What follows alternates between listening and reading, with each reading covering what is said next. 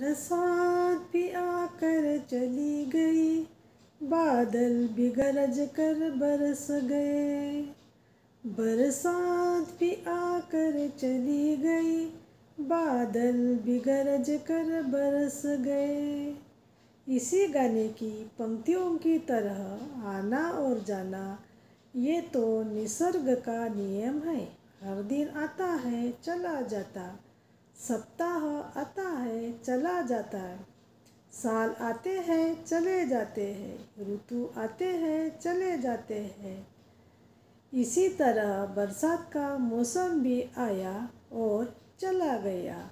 अब सर्दी के दिन आ गए। सर्दी के दिनों के बाद गर्मी के दिन आएँगे। बरसात के दिनों में किसानों को बरसात का इंतज़ार रहता है। कब बरसात होगी और हम हमारे खेत में बीज बोएँगे। आप लोगों ने चातक पक्षी का तो नाम सुना ही होगा। चातक पक्षी को भी बरसात के पानी का बड़ा इंतज़ार रहता है, क्योंकि चातक नदी, नालों, झरने का पानी नहीं पीता, सिर्फ़ बरसात का ही पानी पीता है।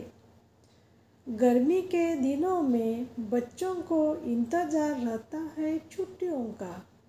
कब छुट्टियाँ लगेंगी और हम हमारे मम्मी पापा के साथ कहीं बाहर घूमने जाएँगे।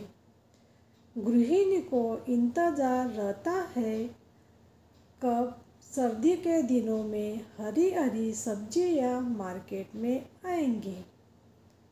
किसी को इंतज़ार रहता है जॉब लगने का तो किसी को इंतज़ार रहता है अपॉइंटमेंट लेटर कब आएगा, यानी हर एक को किसी का ना किसी का इंतज़ार रहता है।